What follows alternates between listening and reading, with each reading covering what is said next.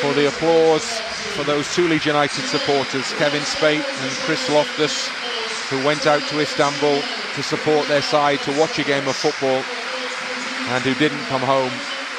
Terrible, terrible events in that city in the year 2000, the 5th of April. And this is the game where Leeds United supporters applaud to remember two of their own.